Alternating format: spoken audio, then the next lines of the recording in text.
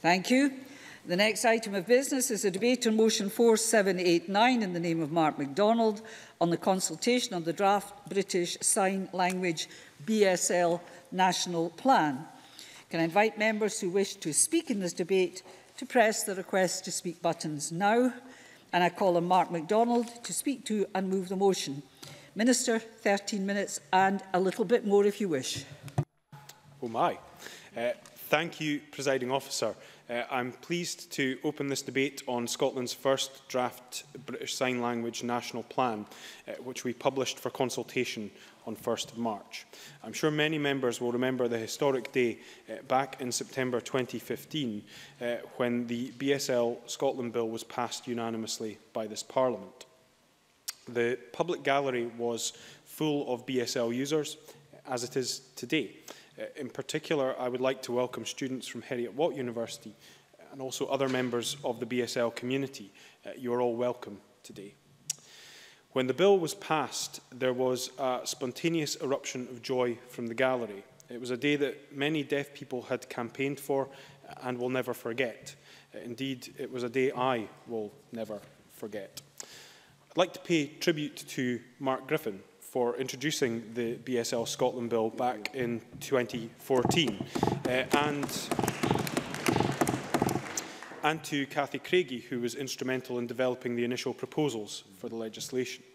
I would also like to recognise the significant contribution of my colleague Alistair Allen, who worked with Mr Griffin through the parliamentary process to make the legislation as strong, uh, focused and action-oriented as possible.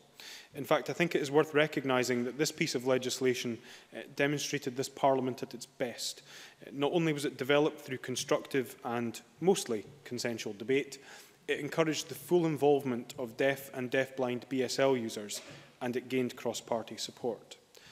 I'm proud to have been asked to take over responsibility for British Sign Language as part of my portfolio and to present Scotland's first draft BSL national plan to this chamber. Our long-term aim for the plan is ambitious. Uh, we want to make Scotland the best place in the world for people whose first or preferred language is BSL to live, work and visit. Uh, this means that deaf and deafblind BSL users will be fully involved in daily and public life in Scotland as active, healthy citizens uh, and will be able to make informed choices about every aspect of their lives.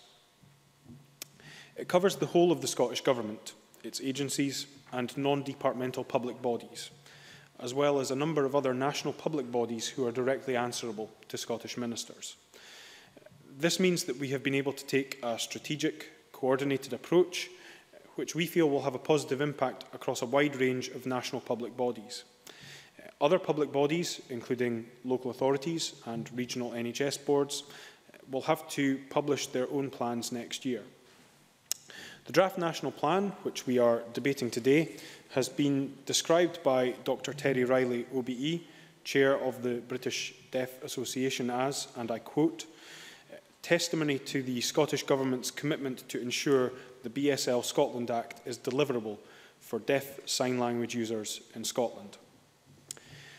It responds to the priorities of BSL users the length and breadth of Scotland whose views were used to inform the work of the BSL National Advisory Group, eh, which we call the NAG. Eh, I can assure members it is an affectionate acronym.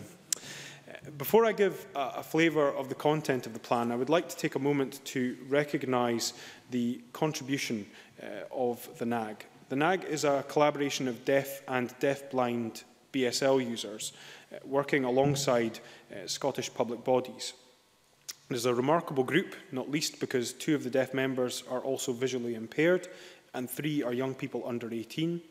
Uh, and it is co-chaired by a senior civil servant and a deaf BSL user. I mention this because I think it demonstrates our genuine commitment to inclusive and open government. I want to offer my sincere thanks to the NAG, whose hard work over the last year has made it possible for us to publish a plan which I believe will make a real practical difference to the lives of our citizens who use BSL. I would also like to thank the Deaf Sector Partnership, which has supported the NAG and the many discussions around the country which have contributed to this draft plan. The plan is framed around 10 long-term goals, which represent our collective dream for BSL in Scotland. These include early years, education, employment, health, mental health and social care, transport, culture, leisure, sport and the arts, justice and democracy. We know it will take longer than six years to reach these goals, so this first draft plan will set out the steps we think we can realistically achieve in the next six years. Future plans will take us even closer to our goals. I want to highlight some of the most significant actions we've included in the draft plan. We recognise the absolutely critical importance of language in the early years. We will ensure that families and carers with a deaf or deafblind child are given information about BSL and deaf culture and will be offered support to learn to sign with their child. We will also increase the provision of information, advice and support services in BSL for deaf parents and carers. In education, our goal is that children and young people who use BSL reach their full potential at school.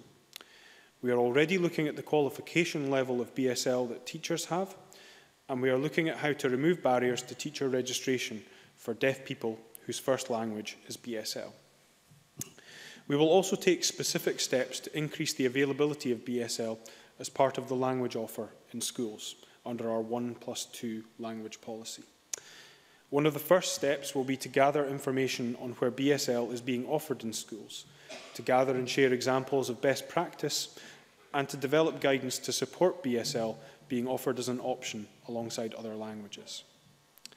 We will work together with schools, colleges, universities to ensure that BSL users have a much more positive experience when they make the transition to post-school education and that they receive the support they need to do well in their chosen subjects when they move to college or university. and when young people who use BSL move into the world of work. We want to ensure that they are supported to develop the necessary skills to become valued members of the Scottish workforce. During the lifetime of this first national plan, we will take steps to ensure that BSL users have fair and equal access to employment opportunities, including apprenticeships, internships and employability programmes, and receive appropriate support to find and sustain work as part of the new Scottish Employability Programme. We recognise that access to health and social care services is particularly problematic for people who use BSL, and we are determined to address this in a number of ways. For example, over the next six years, we will ensure that information on national health screening and immunisation programmes is routinely translated into BSL and is readily available and easy to access. Similarly, we will ensure that information about people's rights to directing their own social care and support is provided in BSL. We will also improve availability of and access to professionally approved health information in BSL. According to the charity Sign Health, deaf people are twice as likely to experience mental health issues such as depression and anxiety compared to hearing people. What makes this situation worse is that deaf people find it harder to access support. Over the lifetime of this plan, we will develop a national source of mental health information, advice and support for BSL users to address this significant health inequality. Finally, the draft plan includes a number of important actions that apply across all public services. We recognise that there is a shortage of BSL English interpreters, particularly those who have the advanced skills necessary to work in specific settings, including the justice and healthcare systems, and we will take steps to remedy this. Of course, more than happy to. Stuart Stevenson. Uh, is it not also very important, uh, Minister, that we recognise the variants of BSL, and I, of course, in particular highlight that variant which expresses Doric? Minister. Well, at the risk of giving the interpreters at the back of the chamber some difficulty, I would say aye. um, and yes, we do recognise that there are uh, variations that exist within BSL, uh, and that is something which we are more than happy to uh, consider in terms of our approaches. Uh, we know that there are uh, significant variations in terms of access to information uh, and services in BSL across the Scottish public sector. Uh, to address this, uh, we will develop, test and promote a set of guidelines for all Scottish public services. Uh, we will also explore how we can develop and deliver BSL awareness and training that can be accessed quickly across all frontline public services. Presiding officer, there are over 50 actions in the draft plan, um, but uh, although you have been very gracious in terms of the time afforded to me, I'm not entirely sure uh, time would be on my side enough to be able to go through them all in detail. Um, but in addition to the key areas that I have mentioned, there are a range of actions to improve access to information and services in transport, uh, in culture, leisure, sport and the arts, and injustice. The publication of this draft plan for consultation marks a number of important firsts for the Scottish Government.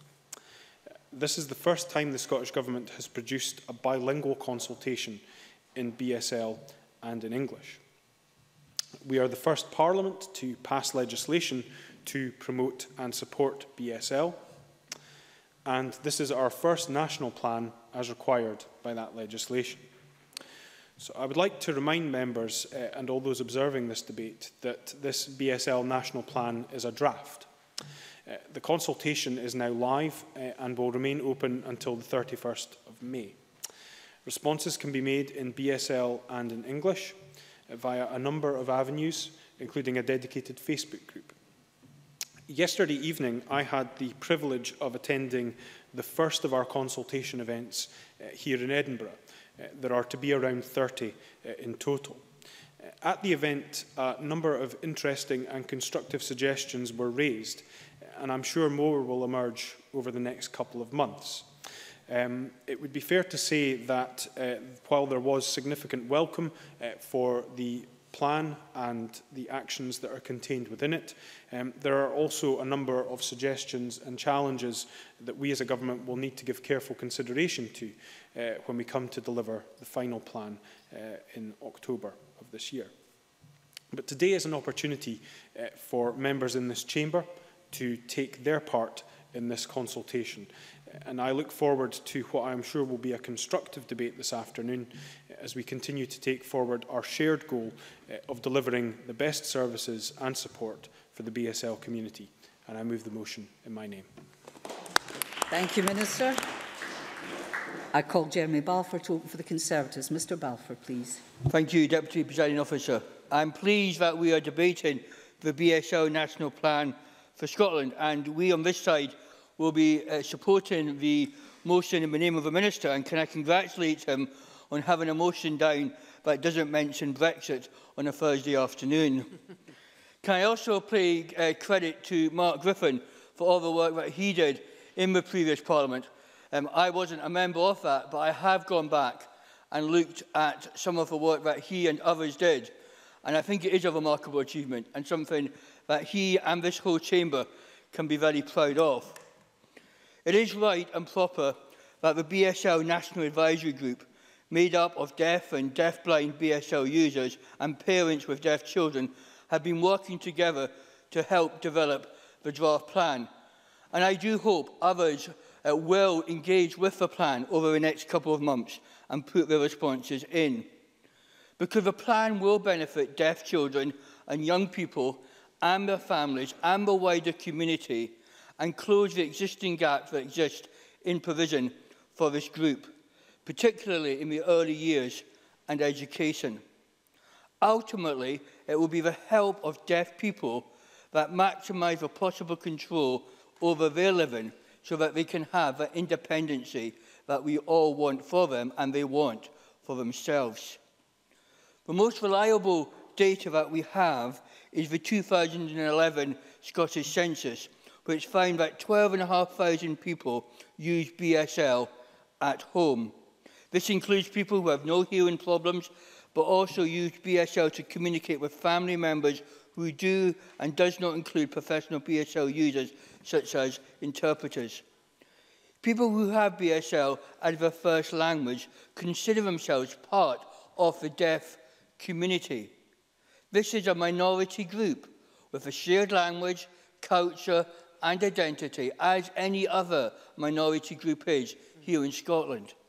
For members of the deaf community, English is the second language. And I think too often we forget that.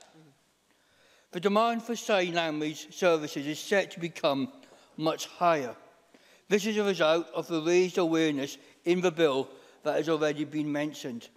With the implementation of the Act underway and the first plan for Scotland now open for consultation, It is expected that there will be a much higher demand for sign language interpreters. The Scottish Association of Sign Language Interpreters maintains a register of a number of interpreters. Currently, there are only 66 operational interpreters here in Scotland. This means that for each interpreter, there are around 200 BSL users. For each interpreter, there's around 100 estimated BSL users who have BSL as their first or preferred language. And I think one of the challenges that we face going forward is how we meet that demand. Uh, at present, um, I serve on the uh, Equality and Human Rights Committee, and we're taking evidence at the moment in regard to uh, disability and access to higher education. And one of the things that has struck me is that there is good provision for those that go to university for the lecture hall. But what provision do we have in the union or in the coffee bar or in the discussions out with that? Now, I'm not suggesting there are easy answers to these questions, but they are questions that we do have to look at here in Scotland. There is currently no qualification or regulatory framework around the use of communication support workers or interpreters in education settings. This means there is inconsistent provision and disparity in the quality of support provided to deaf learners. The role of CWS is critical in ensuring that children and young people who rely on signing to access teaching and learning receive accurate interpretation of what the teacher is saying and what is going on in the class. Again, same point that I made about the university provision often applies to school as well. Constituents of mine um, has approached me recently where their child gets good BSL use in class, but that person needs to have a break at break time and often feels very isolated in the playground or in the lunch hall. So I think we need to ensure that there is provision not just for academic activity at school and university, but provision for social activity as well. Ensuring that CW in schools and colleges have a minimum level of BSL qualification so we can effectively fulfil this role is fundamental. The National Plan is an opportunity to strengthen the consistency of qualification for those working with deaf learners. And I would be interested to know if the Minister has any plans and how eh, he plans to bring that forward. Deafness is not a learning disability. I know when I was growing up, too often it was seen as a learning disability. but it is not. And with the right support, there is no reason why deaf young people should be achieving any less than their hearing peers. However, the latest Scottish Government data shows that last year, 11.8% of deaf learners left school with no qualifi qualifications compared to the average of 2.6.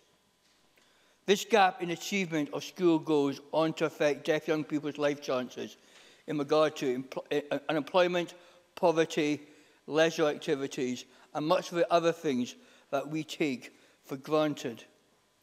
I, I welcome what the Minister has said in regard to promoting positive experiences around early years. Most deaf children are born to hear in families. Currently, the Scottish Government does not cover the cost for families to learn BSL. Often, only one family member gets the lessons because of the family budget, with other family members getting by. Relationships with siblings and parents are often distorted or not as full due to the language and communication barriers and developing age-appropriate language is challenging for deaf children to communicate sorry, due to communication barriers that can impact on entertainment and life outcomes. I welcome the funding by the National Deaf Children's Society from the Big Lottery Scotland to deliver the Everyone Together project, which will see around 350 families receive unique early year support over three years. Its family sign language element will offer families and early years professionals the chance to take part in family sign language courses in group and in one-to-one -one settings. Welcome the steps outlined in the National Plan which include the development of information about BSL and deaf culture for parents whose baby is diagnosed as deaf. Again, I remember a few years ago, someone coming to me whose child had been born deaf. And the doctor almost immediately simply painted a completely negative picture with no positivity there.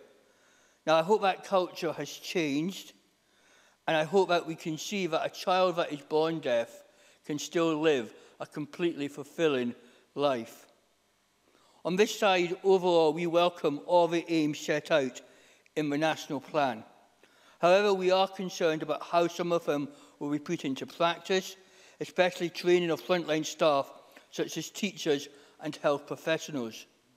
Teachers of the deaf are a lifeline for many deaf children, but these services are being squeezed and, due, and often a lot of them are due to retire within the next 15 years. I had the privilege uh, for a while of being a governor here at Donaldson's when it was based in Edinburgh. And I saw the expertise that was given by many of those staff. We believe that we need to extend to all people who have communication difficulties. Those, for example, that have had a stroke, those who come to deafness later on in life, or those who simply need it uh, to be able to communicate with family members. We call on the Scottish Government to carefully consider all responses to the consultation in order to develop a robust, well-thought-out national plan to support deaf people across Scotland. And I welcome to hear other views expressed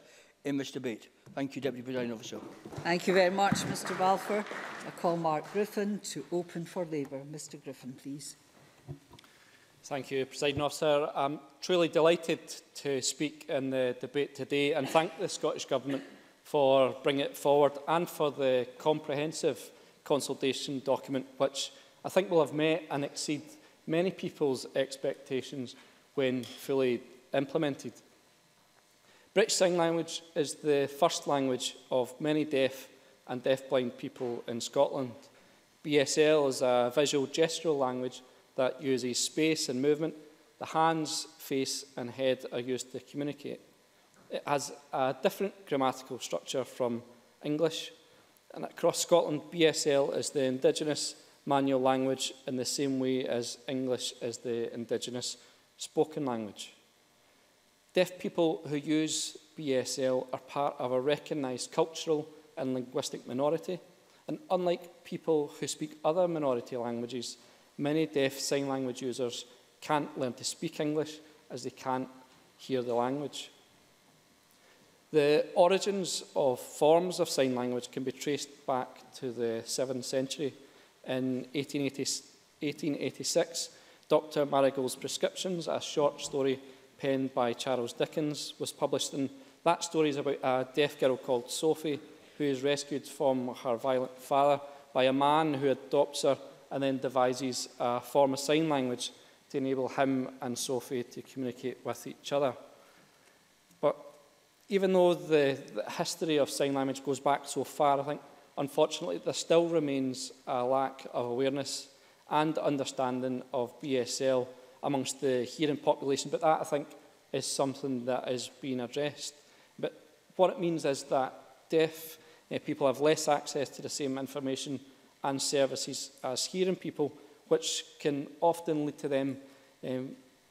lead to feelings of being marginalised, shut out, misunderstood, and isolated. And by the same token, society is then missing out on the contribution that deaf and deafblind people can make because they don't have that same access to education or the, workpl- or the workplace as hearing people do. Scottish Government figures show that only 36.4% of deaf pupils attain hires or advanced hires, and that's compared with 60.2% of hearing pupils. And that only 26% of deaf school leavers go on to higher education compared to, with 39% of hearing school leavers. And I think for me that comes down to the language skills of the teacher. We really need to look at that in order to reduce the attainment gap between hearing and deaf BSL pupils. And I'm delighted that the government consultation gives a commitment to investigate the qualification level of BSL that teachers have and review how the General Teaching Council for Scotland's professional update and standards can inform guidance for teachers of pupils who use BSL. But can I say, though, that the Education and Culture Committee undertook an inquiry into this very issue in the last session, and there is evidence there. And it's not hard to see why there is an attainment gap when a BSL user can be taught complex subjects like maths, physics or chemistry by a teacher whose language skills are lower than the pupil themselves. A level 1 BSL qualification for a teacher of the deaf Trying to teach an advanced higher physics class just isn't going to cut it, and teachers of the deaf really should have a minimum level three qualification in BSL, which is the equivalent of a, a higher grade. And another key point on the subject of education is a commitment to discuss with the SQA the potential for developing SQA, SQA awards in BSL. And I think that's key because there are a lot of students in Scotland who study and learn BSL in primary school or in the early years of secondary school, but they then drop it as a subject because of the pressures there are in high school to get the qualifications they need to go on to college, university or for their CV. And if we can get to the stage where we have a recognised SQA qualification which gives a young person UCAS points, will boost the number of non-deaf BSL uh, users, reduce that feeling of isolation within the deaf BSL community at that key time at school and potentially increase the number of much needed interpreters. And on the point that was raised earlier about dialect, I was speaking at an event in Edinburgh where there was no sign language interpreter available in Scotland, so they drafted an interpreter from England. And because of the difference in variation in dialect. Some of the audience didn't understand um, those, some of those word differences that were used in English BSL as they would have been used to um, from a Scottish interpreter. So that is a, a much needed area, an area that needs to be addressed. I think another area that could be improved on is access to leisure and sport. And I know that there is a commitment in the consultation to support professional pathways and advocate for BSL users to consider culture, leisure, sport or the arts as a potential career choice. But I've been contacted by a deaf BSL user who hopes to participate in the, the Deaf Olympics this year in South Korea, but he's having, um, he's having to fundraise to cover his own costs to attend those Olympics, along with a number of Scottish deaf athletes and having real difficulty in doing that. And um, we have funding available for our, our Olympians or Paralympians, and perhaps that's um, an area that we should look, look at. And I have written to, to Scottish ministers about that situation. I've included it in my consultation submission. Um, so I hope that the funding of deaf athletes is something the minister will keep in mind. President officer, I said during the progress of the BSL bill that I was under no illusion that the bill was any more than a starting point, that it was the first positive step in putting BSL on a firmer footing and that it would make a positive difference to the lives of BSL users. I'm delighted that the government has taken the next step and if we see the commitments in the consultation document realised, then that will be warmly welcomed by the BSL community. Thank you. Thank you very much, Mr Griffin. I now move to the open debate. Um, I've be a little bit generous with time. Isn't it nice to hear that? I call Fulton McGregor to be followed by Graham Simpson. Mr McGregor, please. Thank you, Presiding Officer. Firstly, I'd like to echo what others have said over the last 24 hours and offer my sympathy to those who were affected by yesterday's events in London. Presiding officer, today's business is a pleasure to speak in this important debate. And I want to start my contribution by telling the story of my local hero, Holly Kinsella, who I'm delighted to say has joined us in the gallery today. I met Holly during my recent uh, election campaign, and as anyone who has met her will know that as a young adult, she is a confident and outgoing young person. She sits on the Youth Advisory Board of the National Deaf Children's Society and is an avid campaigner for the advancement of sign language. However, when we learn the Holly's story, one that won't be unique to her, we learn that she wasn't always as confident and outgoing as she is today, and that was down to a system that failed to support young deaf people. Holly was born deaf, but wasn't diagnosed until she was five. Due to the delay in diagnosis, her language skills were behind her peers. At the time of diagnosis, those involved in her healthcare pushed her to speak as opposed to encouraging a shift to signing. She went to a school where there were no other deaf children and certainly very little support for her. Absolutely no access to signing. It was first year at high school before she had contact with other deaf children, and it was then that she learned about, in her own words, the rich and amazing deaf culture. It was then that she started to become involved and is now an outspoken advocate for deaf children. Many colleagues will have met Holly. She isn't at all shy in approaching MSPs and others to let them know exactly what we should be doing to make life better for young deaf people and their families. And in that, I include the Deputy First Minister at a recent event here in the Parliament, and I am sure that the Minister, Mark MacDonald, is, is firmly on Holly's radar just now. Presiding officer, it's stories like Holly's that reinforce just how important this consultation is, and I'm pleased that all parties in the Chamber have came together to support it. And there are, of course, many other inspirational people helping to make progress with BSL. Katie Slavin, also from my constituency, who I first met during my campaign also, runs the Shining Stars group in Coatbridge, helping children with additional needs, including those with hearing loss. She too uses BSL and believes that it should be rolled out into the curriculum. Both of these young people are doing an amazing job locally, and they have told me that they were inspired by the recent political engagements And I, I mentioned particularly that they came to approach me during my campaign, and I think that's quite significant that they both felt confident to approach all the MSP candidates in that election and de develop relationships thereafter.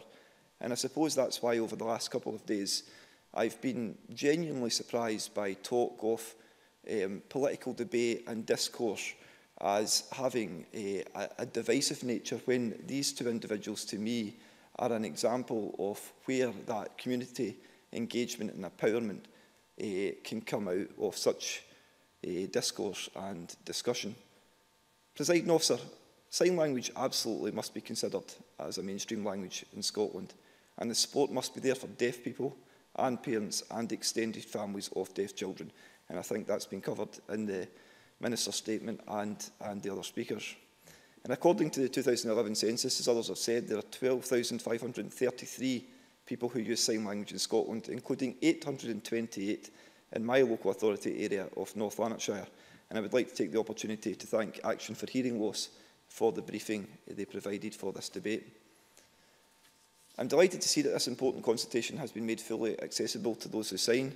However, I was concerned to hear that there are just 66 BSL interpreters in Scotland at the moment, In Finland, a comparably sized country to Scotland, there are 750, and that gives them a ratio of one interpreter per every six people who use sign language, compared to one in around 167 here, a point made also by Jeremy Balfour.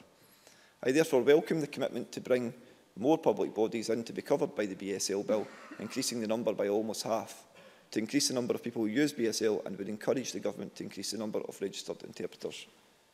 Presiding officer, BSL is a language in its own right. It is a language which enables many of our deaf citizens to learn, work, parent, be creative, live life to the full and to make their contribution to our communities, our culture and our economy. Much has been said already about the Scottish Government data uh, from 2014-15 uh, eh, and I think we would all agree that the, the, the stats in that are not good and that's why I would commend the Government in, in bringing forward this um, this process uh, in order to try and address that. The National Deaf Children's Society believes that with the right support and early identification, they can do, deaf children can do anything any other children can do, and I agree with that. Closing the attainment gap is the aim of this government, and that includes overcoming all sorts of barriers. However, to achieve that, it is absolutely critical that children are supported in their early years. The early years are a critical time in child's cognitive and language development. 90% of deaf children are born to hearing parents, as has been said, and this creates a barrier in communication in the early years, and it's crucial that parents are supported in communica communicating with their children. To conclude, Presiding Officer, I welcome the consultation and proposals to expand access to support for BSL, and I encourage all of my constituents to take part. And I would also like to uh, offer my apologies to the interpreters if my uh, Glaswegian accent has been too fast in speaking today. I have tried to slow down, Thanks very much. Cheers. Thank you. Which is a timely reminder, Mr McGregor, for members to pace their delivery. Uh, Graham Simpson to be followed by Tavish Scott. Mr Simpson, please. But you're always pacing your delivery. Yeah, I, I, I, I certainly do my best, uh, Deputy Presiding Officer. Um, I, I welcome the session today. Um, it's less uh, a debate because I suspect we'll all agree that helping those with hearing difficulties or no hearing at all should be a priority. Can I start by um, echoing the comments uh, about Mark Griffin uh, and the work that he put in? Um, I don't know Mark very well, but uh, his uh, sterling efforts should be congratulated by all of us. Can I also thank the BSL National Advisory Group uh, for their work uh, so far. Uh, this consultation is certainly necessary and the government has until October to produce a plan. It's needed because deaf people uh, encounter a myriad of problems in their day-to-day -day lives, problems that those of us who are lucky enough to be able to hear don't really think about that often. I want to focus on some of the challenges that they face. Earlier this month, I was delighted to meet Action on Hearing Loss. Their Moving On service offers support to help businesses to become more accessible and deaf-aware for job seekers or employees who are deaf or have hearing loss. Moving On, which is funded by the Big Lottery Fund Scotland, provides communication tips as well as information about the Access to Work programme and how to book communication support such as BSL English interpreters. The charity's employment ad advisors who sign to a high level of BSL support young deaf or hard of hearing people aged 16 to 25 into employment, training, education and volunteering opportunities. Uh, and they also provide key practical advice about preparing CVs, interview training and getting ready for college or work. The moving on service is excellent, but it highlights a real issue that deaf people have of finding employment. And this was also highlighted to me when I recently visited Lanarkshire Deaf Club in Motherwell. It set up its own job club in January this year and has already seen members start work in Lanarkshire as a result. People who are deaf or hard of hearing can find it difficult to attend the job centre or job interviews without interpreters who can use sign language to communicate for them. There is a general issue across Scotland of there not being enough interpreters, and this is something the national strategy and any local ones that follow on from that needs to address. The ratio of interpreters to BSL users in Scotland is about 1 to 167 In Finland, it's one to six. Fulton McGregor has mentioned this, as has Jeremy Balfour. But strangely, the British Sign Language Scotland Act does not compel the Scottish Government to conduct an audit of current provision of BSL interpretation, but it should, and maybe that's something the Minister could take up. The public sector can do more, and I'm pleased to hear that it will be getting guidelines, but private employers could be encouraged to help too. What about having a deaf accredited employer scheme, for example? Maybe that's something the Minister could consider.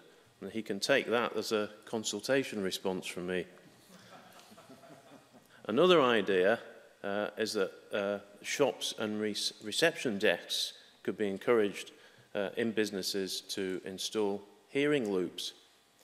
Now, I visited the Lanarkshire Deaf Club to congratulate them on receiving £5,000 from the Big Lottery Fund to host a day of celebration this coming Saturday under the banner of Loving Lanarkshire Deaf. They'll have a child-friendly event during the day to provide information about local organisations and deaf organisations to the wider community. And at night, there'll be a party for over 18s with a buffet, bar and disco for both the deaf and hearing communities. It's all about breaking down barriers in the community. Ian Galloway, the project manager at the club, told me, I feel it's important that local business, services and the wider community are more aware of the needs of the deaf community. I'd like to see Lanarkshire as a place of excellence where hearing and deaf people are able to access services and communicate freely with each other. British Sign Language is our first language and not English, as many people mistakenly think. His words. And that's the point, isn't it? BSL is a language all of its own. And just as we would find interpreters if someone walked into a police station who could only speak French, then we should do the same for deaf people. Most of us take it for granted to be able to go outside, shop, get on a bus, go to work, and communicate with everyone. The reality is so different for people who are deaf. When I met Ian Galloway, he told me something that we could and should tackle here.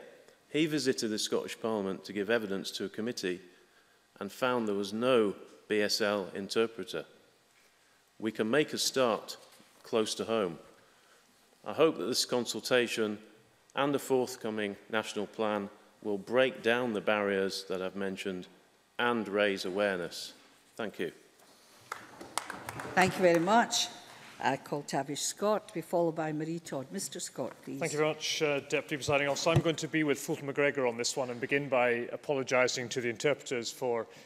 possibly not the accent, although I'll try and avoid any uh, depths into uh, the Shetland dialect, but more to the pace of uh, speech, and it's possibly a, uh, the kind of occasion where we should consider that quite carefully, President Clinton will be speaking about now in Northern Ireland at the funeral of Martin McGuinness, if I have heard one person whose use of pause is utterly dramatic, it is uh, Clinton's, and there's something in that, in this kind of debate about recognizing that how we speak is important uh, as much as what we actually say. Um, I appreciated the remarks that the minister made and, and the reasoned tone in which he expressed them. uh, at the uh, beginning. Great conciliators on good form uh, today. Uh, I also want to pay tribute to Mark Griffiths for the work he did in the, in the previous Parliament and again in a thoughtful speech today. I did not know the historical perspective he gave um, earlier on, but uh, we are better for having had that on the record uh, here this afternoon. Uh, and to Jeremy Balfour and for others for providing um, intensely thoughtful contributions to this really important area of public uh, policy. I want to also apologise uh, to you, presiding officer, if I happen to leave before the end of this debate. The Loganair flight to Sumbra waits for no man or woman and certainly not the Shetland MSP, um, so I will be away, I'm afraid. Um, improving services for British Sign Language users is a worthy uh, public policy goal. The national plan that the Minister has set out this afternoon uh, is to be welcomed for its commitment to ensuring BSL users feel supported from their early years into employment uh, and beyond. The plan is a positive step for non-BSL users too, by integrating British Sign Language into schools, into workplaces, and to public services. We all benefit from working towards a more inclusive society, one of the aspects to this place that we hold dear. I was uh, particularly taken by the section in this plan on education, uh, not least of which because of the work that uh, Mark Griffin uh, referenced a, eh, in relation to the previous Parliament and the previous education committees, and I should thank my colleague and friend Liam MacArthur for his role in that. But we rightly invest much attention and indeed debate uh, on the funding uh, of education to ensure pupils from all backgrounds thrive in school. Indeed, the Cabinet Secretary made a speech on that very subject this morning. That should be no different for pupils who use BSL. More teachers, too, qualified in British Sign Language, will undoubtedly help those for whom the language is their primary means of communication. But it may also help the wider school. The plan notes that we should take advantage of children's appetite to learn. Bringing British Sign Language into the classroom would increase tolerance and understanding, and would remove the sense, or at least help to remove the sense, of isolation that many people with hearing loss feel. The plan's emphasis, too, on health and mental health are also to be commended and to be pushed. No individual should be left feeling that they cannot access important services, nor left confused about their care because there is no one qualified to tell them what they need to know in the right language. Proper funding is, of course, absolutely critical for ministers to meet these ambitious plans set out today. Uh, my own constituency in Shetland does not currently have a British Sign Language interpreter, limiting, therefore, the opportunities available to those who are deaf and hard of hearing in the islands. Video remote conferencing could help address this, but without the necessary investment in broadband connections, uh, supporting BSL uh, uh, users who are older or less confident with technology may be a great challenge. The improvement of broadband services um, meets so many requirements we make now of our public services. This is a particularly strong one for those in rural and island areas.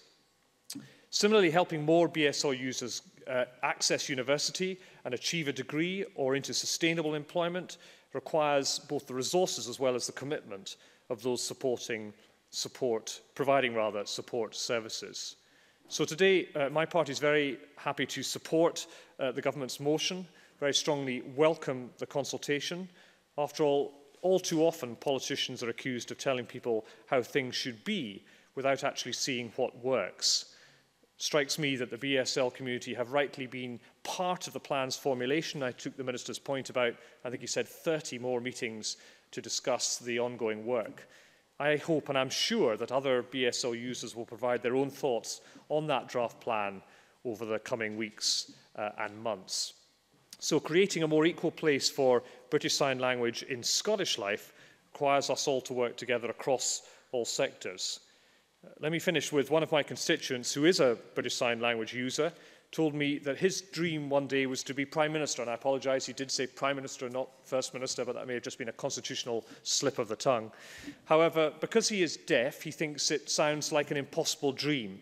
Uh, he has urged us all to take action to improve the position and provision of British Sign Language. That, he said, that uh, way, he, he has said, I might have a chance. That seems uh, the right ambition, not just for my constituent, but for all of Scotland. Thank you.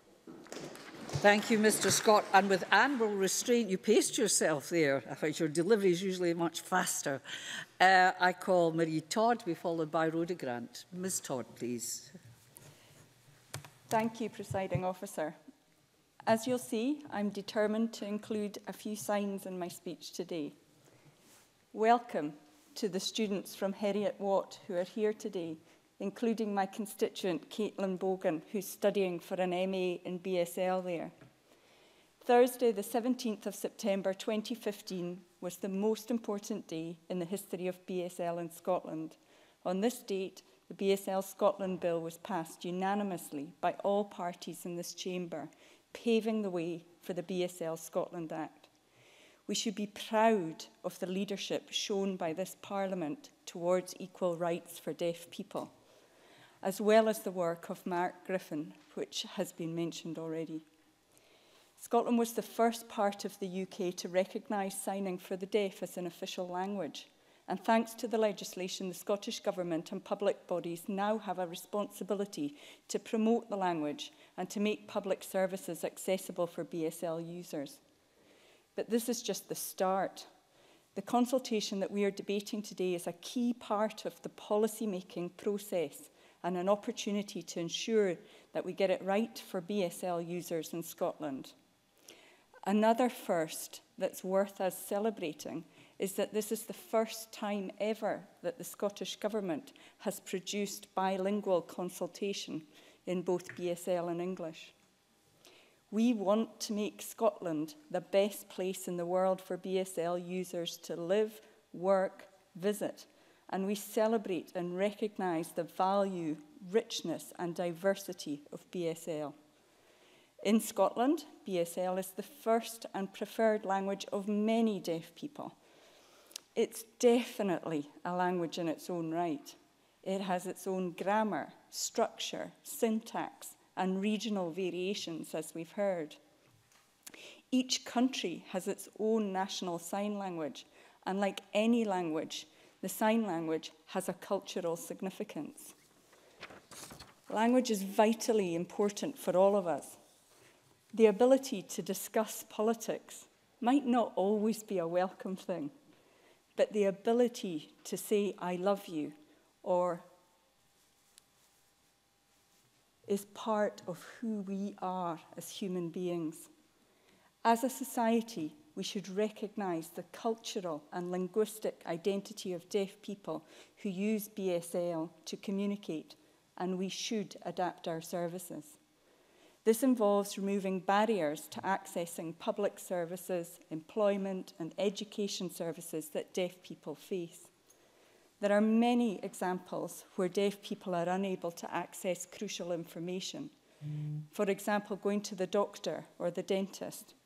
And when individuals feel excluded from public life and from the national conversation, mm. this does have an impact on their mental health.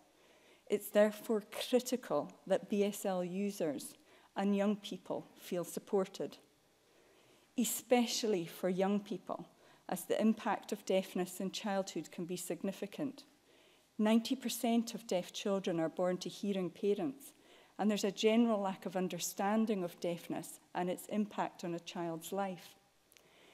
There are definitely challenges for BSL users in school, but I want to take the opportunity today to tell you about the great things that my local school is doing. We should all be proud of what's being done in the Highlands Dingwall Academy is one of the very few schools delivering a BSL unit.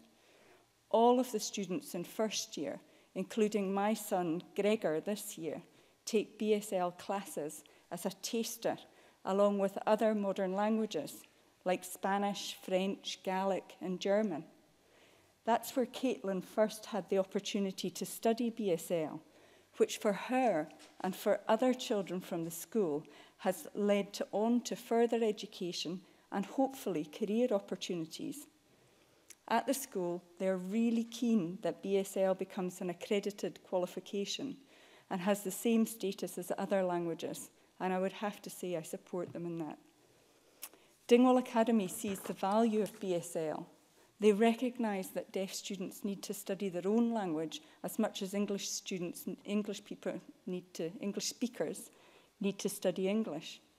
Deaf children's literacy skills tend to be poorer.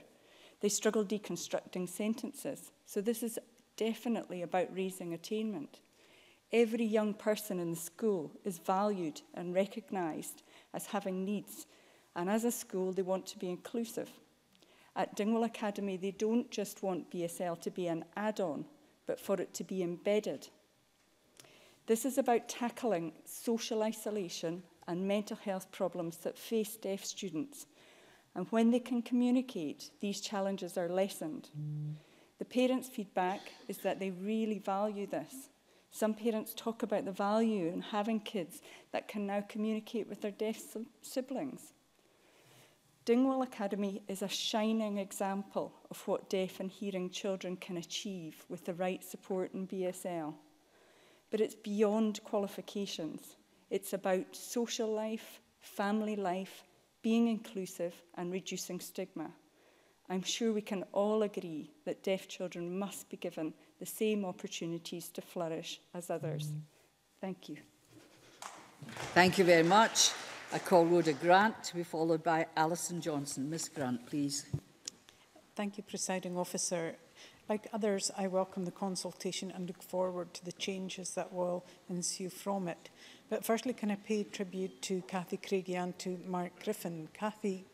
campaigned on this issue, and that work was taken up by Mark when he came to this Parliament. And he's pursued the issue doggedly and achieved a real change in our perception to BSL. His Members' Bill raised awareness and its enactment is actually what brings us here today together to discuss this consultation. Getting a member's bill through this Parliament is not easy, but Mark's work and determination has made a lasting change for those who communicate through BSL. The consultation rightly focuses on access to education and services.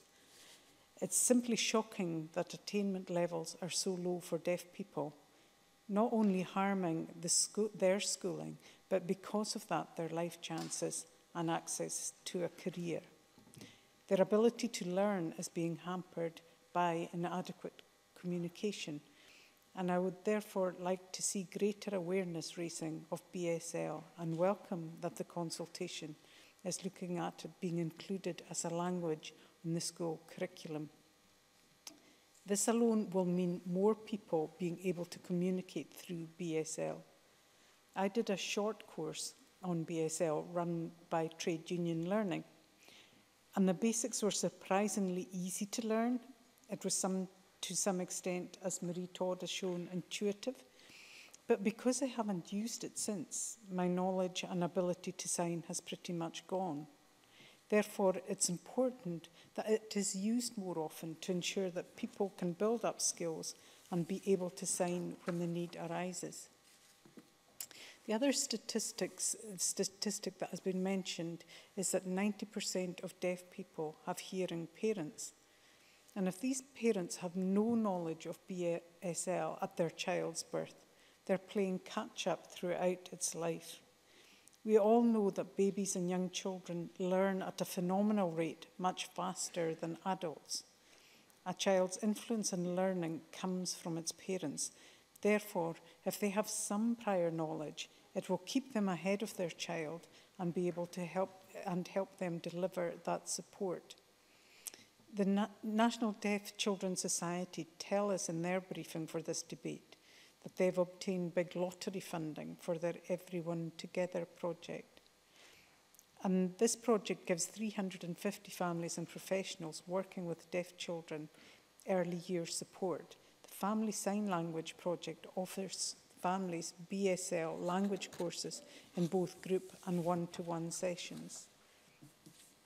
They also flag up to us the challenges and omissions in the consultation. They highlight the lack of interpreters. Given that the consultation is geared towards education and service delivery, it's difficult to see how 80 interpreters can adequately meet demand. because according to the Society, there are around 3,850 deaf children in Scotland, and 3% of them use solely BSL. If these numbers carry across to the adult population, then these numbers are surely inadequate to be able to access even the most basic level of services. They also flag up the minimum levels of qualification in BSL required for professionals working with deaf learners and feel that in, increasing this qualification is missing from the plan.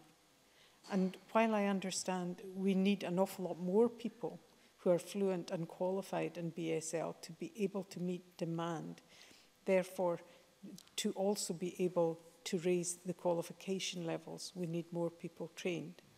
And I believe this needs to be an aspiration to ensure that young people have the same educational opportunities as their hearing peer group.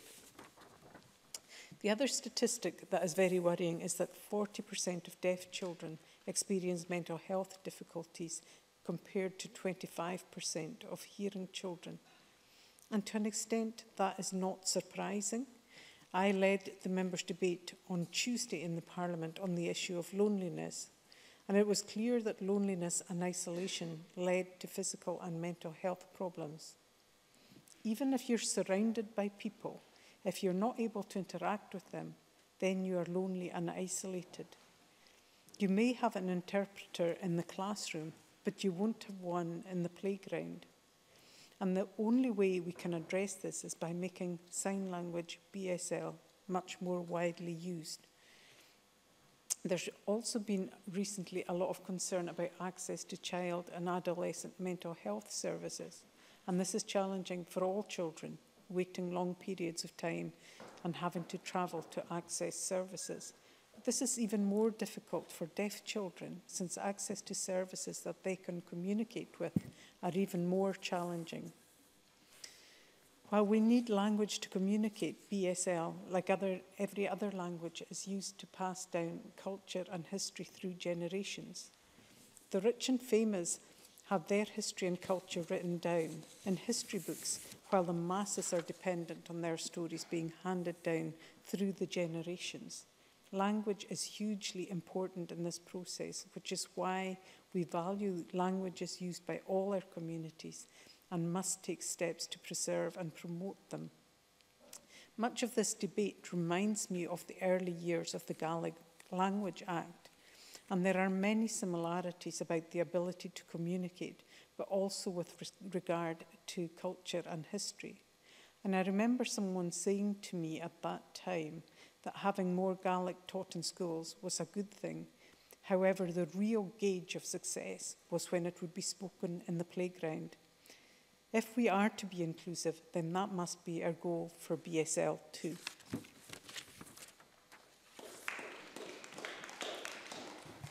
I have Alison Johnson to be followed by Gillian Martin. Um, thank you, Presiding Officer. I very much welcome the publication of the consultation on the draft BSL National Plan.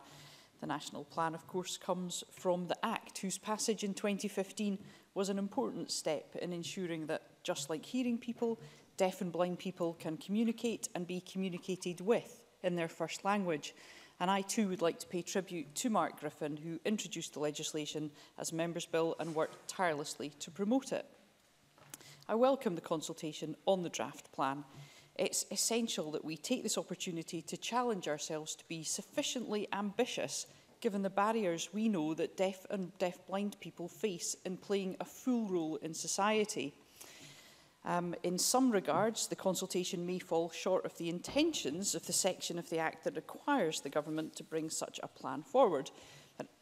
in examining some of these issues today, I'd like to focus particularly on BSL in our education system. As the consultation says, 90% of deaf babies are born to hearing parents.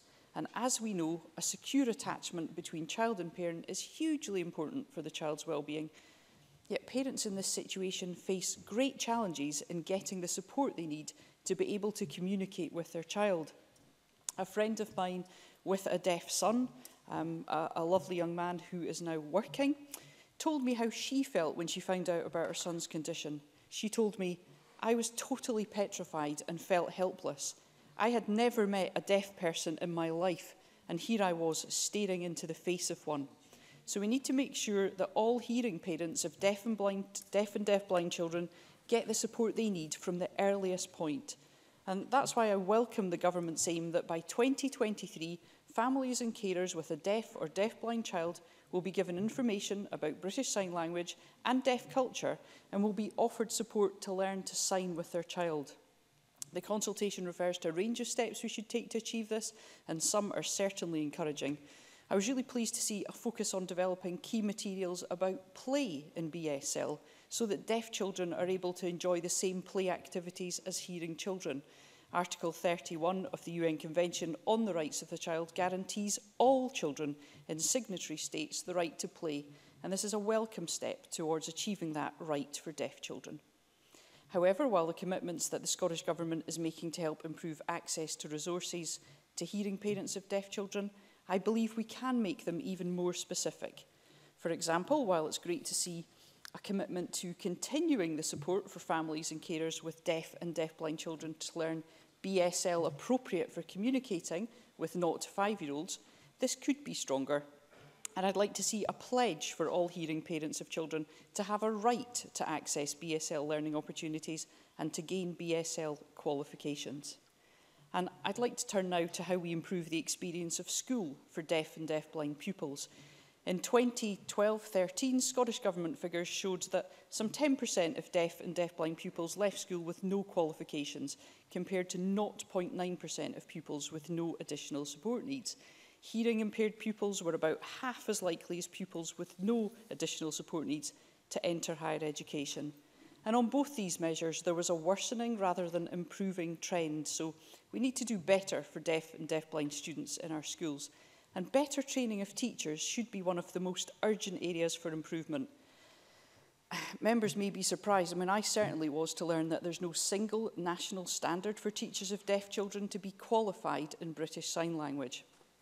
The Scottish Qualifications Authority offers five levels of qualification in BSL, but many teachers off the deaf are qualified only to the most basic level. Now, Mark Griffin highlighted this point too.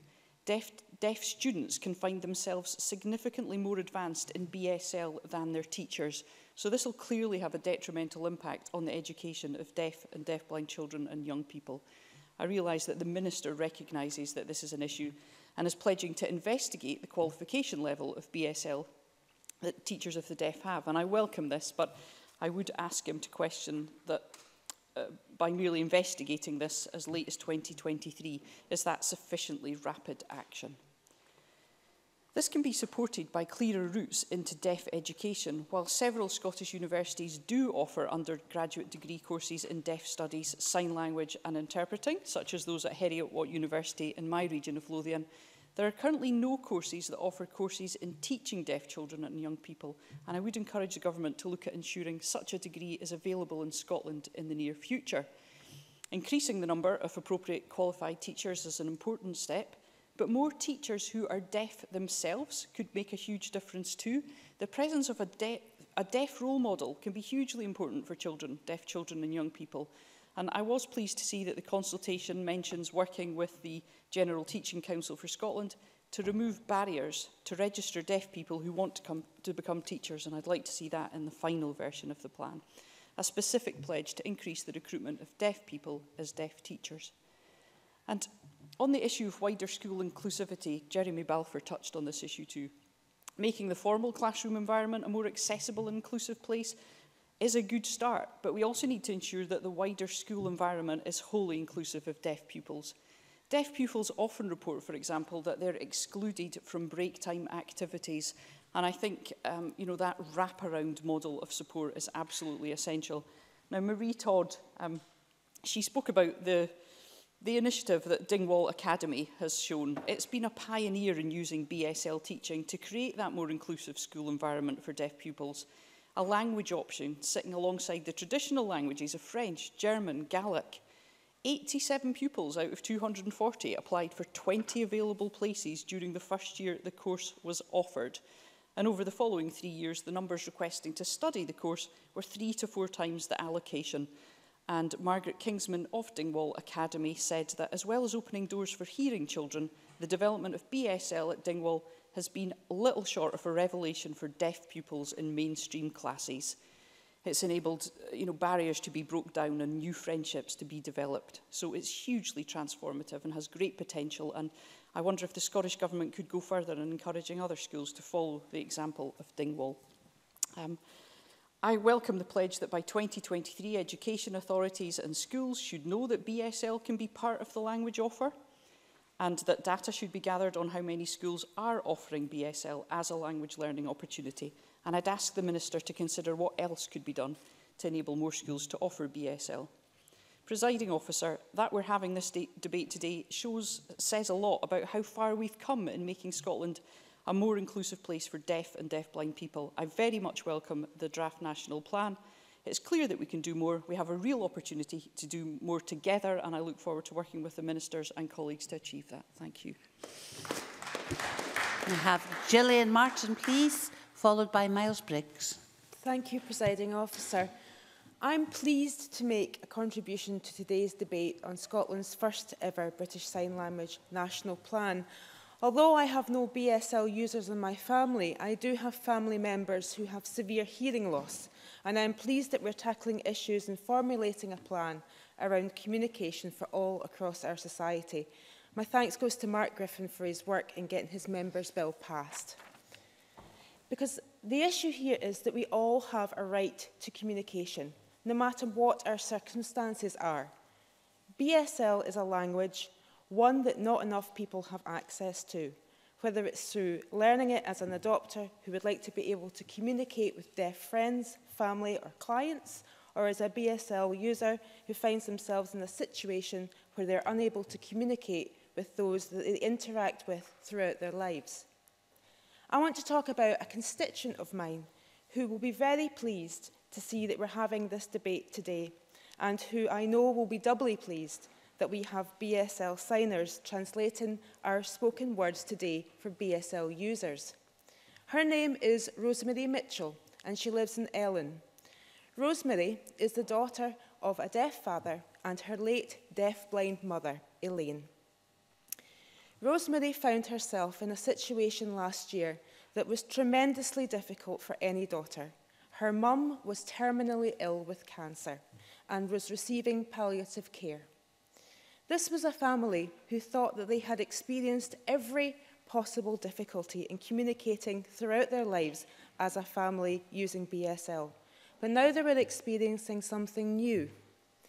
The lack of availability of BSL interpreters meant that Rosemary had to be her mum's 24-hour interpreter most of the time because there were simply not enough interpreters in the northeast of Scotland to meet the demand.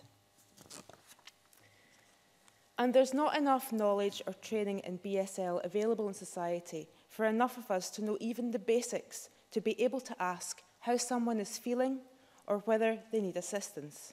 I'm one of those. I cannot sign one single word. There is no such thing as the BSL training that so many of my colleagues have mentioned as happening in schools these days. I'm a child of the 70s. Try not to act too surprised. And Neither could any of the carers or volunteers or nurses, fantastic people that were working with Marie Curie, working with Rosemary's parents. They couldn't communicate with Elaine without the help of Rosemary or her father. Rosemary is now campaigning and fundraising to get BSL training for Marie Curie nurses. And I have met with Action for Hearing Loss and Marie Curie together to look at joint working for solutions for communication issues that deaf patients find themselves with. And I'm very excited to see what they, working with Ros Rosemary, with a little bit of help from me, thank you for including me in, in your work together. I'm looking forward to seeing what they come up with. What a wonderful tribute to Elaine Mitchell, Rosemary has made. I was particularly pleased to see the section of the plan that looked at how BSL interpreters can develop their skills to work in healthcare and justice settings – and moves to get more BSL training into the school curriculum as a language offer. And the commitment in the plan to roll out BSL awareness training for health and social care staff across Scotland is most welcome. I would like to see deaf awareness training, which includes making people aware of how they can assist lip readers too. With a little awareness, like the instructions that we were all given today, to speak clearly and at a moderate pace, and always keep your face visible to the person reading our lips, we can make a substantial difference to a person who wants to be able to communicate with us in any situation. Deaf awareness is as important as all the BSL measures in the plan, and they're easily included in training for those going into work in any sector. Communication is a right. BSL awareness and training is a huge part on delivering on those rights.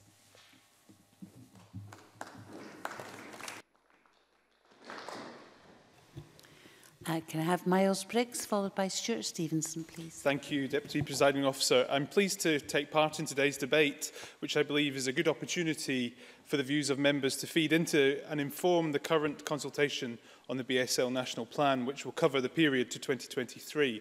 And I'd also like to pay tribute to Mark Griffin um, for the work he has done in this area, especially with regards to his Members Bill. This plan rightly enjoys broad party, cross-party support, which has already been demonstrated today, as of course did the British Sign Language Act in 2015, which was such a significant landmark for BSL users here in Scotland. Like Marie Todd, who's left the chamber at the mo moment, um, I have been keen to learn some BSL myself, and members of the Health Committee have been given an opportunity to do that. And in terms of that, it's shown me what a wonderful, rich language BSL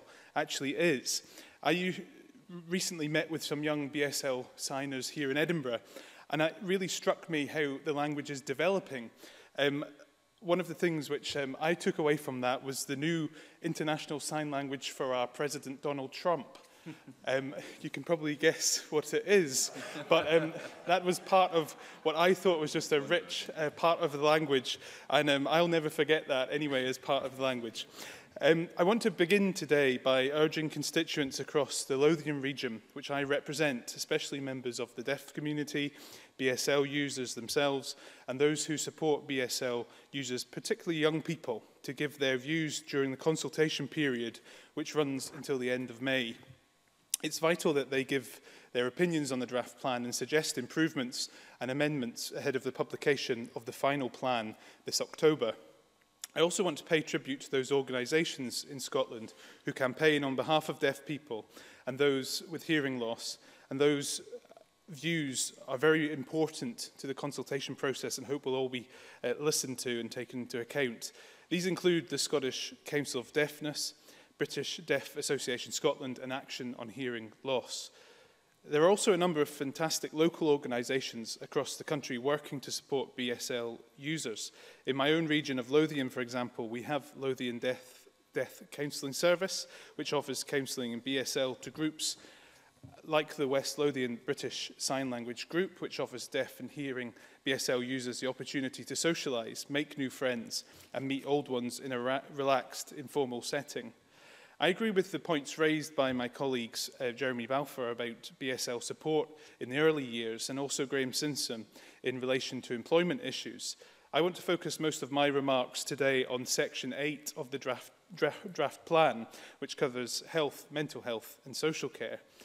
Equal access to information is a major theme of this section, as it is for other parts of the draft plan, but for me this is really important and something we should be really aiming to make a gold standard here in Scotland. I fully agree with, that all information on national health screening and immunisation programmes should be routinely translated into BSL and is readily and should be readily available and easy accessible. And that's something I welcome um, what the Minister's made a commitment to today. More generally, high quality health information and advice on BSL should also be more readily available. And I support the suggestion that it should be collated and located in a central online resource which BSL users can go to to access that. And as the draft plan suggests, there also uh, should be a national source for mental health information for BSL users. I hope this is an area the Scottish Government's new mental health strategy will also look to include.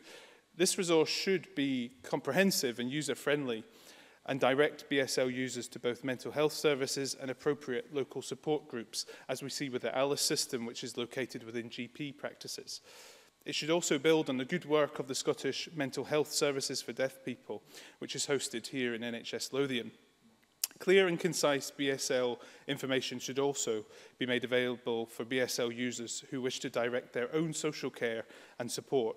I look to local authorities to take this forward and, and make sure that BSL users can choose self-directed support if they want this. We should also consider carefully in the specific needs and requirements of deaf-blind BSL users in terms of accessing health and social care BSL awareness training for health and social care staff is another important consideration which has been touched upon today and I'd be grateful if the Minister would give more details of how the Scottish Government can support local NHS boards and local authorities to ensure that their staff are being able to receive the training when we see time pressures and in, in many cases budget restraints as well. And I think technology is something which we've not really touched upon today. I think Tavish Scott mentioned this um, in his contribution. I recently uh, went through Heathrow Airport and noticed that they had welcome screens in BSL. Um, that's something I think would be interesting to see how we can develop that, especially within our public services in Scotland. Finally, I wanted to end with the issue of loneliness and isolation and what can often be a very difficult and isolating period for anyone when they're losing their hearing. The Scottish Government committed to bringing forward a national social isolation strategy last September. I hope this can present an opportunity to look at innovative and creative ways that we can help support our deaf community here in Scotland and make sure that in this day and age, people with hearing, age, hearing loss are given the support they need to realise their potential – and prevent isolation and loneliness. To conclude, Deputy Presiding Officer, I again welcome today's debate and I look forward to the many constituents and organisations who will make their views known on the draft plan during the coming consultation period. The draft plan is a positive one, but the key will be the delivery of the plan's proposals on the ground across all our public services. I urge ministers to provide the leadership and support required to ensure the effect effective implementation of the plan as we go forward. A lot of our fellow Scots will be watching and expect this government to deliver. Thank you. I call the last of the open debate speeches. That's Stuart Stevenson. Uh, thank you, presiding officer. The 5th of May 2015 was a very important day in the life of this Parliament. It was the day that the Parliament was awarded uh, uh, an award from Action on Hearing Loss of a charter mark, a nationally recognised accreditation for organisations which offer excellent levels of service and accessibility for people who are deaf or have hearing loss. But perhaps more importantly was also the day uh, when we started the parliamentary debate uh, around the British Sign Language Bill. Uh, Mark uh, Griffin came to the Parliament on that day uh, to propose that we adopt the general principles of the British Sign Language Bill, which we gladly and unanimously did. Uh, and I was very happy to speak in that debate and to support what uh, he was proposing. Sign language is not something, of course, uh, that is simply limited to uh, people speaking BSL. We all have our own individual sign language.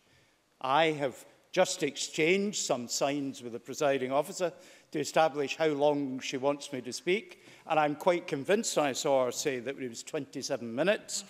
Um, it may be that, of course, my ability to read her signs is somewhat incomplete. When we wink, it is quite clear in a particular context what we're likely to be meaning. In my part, if it's an attractive young lady I'm winking at, well, you can work out the message. In other circumstances, it will mean something different. If I slap my forehead, I am saying I am being stupid. I have forgotten something. If I wave my hands, it's hello. So we all are familiar with the concept uh, of sign language, even if we have not a single gesture uh, from the British Sign Language. I do have one little phrase, let's see if you know what it means. Uh, that means I am ZS. Now, that, of course, merely leads you to another puzzle. Why am I saying I am ZS?